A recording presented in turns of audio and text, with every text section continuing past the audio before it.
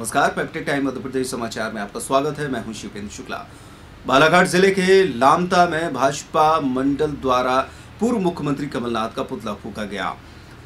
वाणिज्य मंत्री रहते हुए कमलनाथ द्वारा चीन से जो संधि की गई थी, जिसकी वजह से उद्योग व्यापारों के चौपट होने की बात भाजपा द्वारा कही जा रही है, जिसको लेकर पूरे मध्य प्रदेश में पूर्व मुख्यमंत्री कमलनाथ का पुतला फूका गया।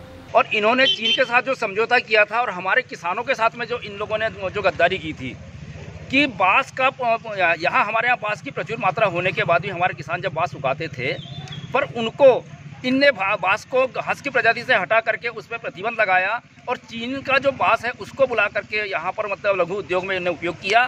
केंद्र सरकार अपने स्तर पर काम कर रही है। एग्रीमेंट के कारण, चीन और भारत के एग्रीमेंट के कारण में सरकार अभी मजबूर है, लेकिन हम भारतीय जनता पार्टी के लोग इस चीनी सामान का विरोध कर रहे हैं और उसी के कारण आज पूरे मध्य प्रदेश में और पूरे देश में 12 बजे पुतला दहन का कार्यक्रम रखा गया है। उस